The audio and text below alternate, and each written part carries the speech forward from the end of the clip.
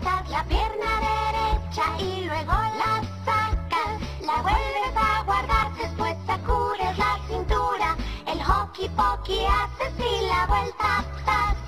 Es todo lo que hay que hacer. Guardas el brazo derecho y luego lo sacas, lo vuelves a guardar, después sacudes la cintura, el hockey pokey haces y la vuelta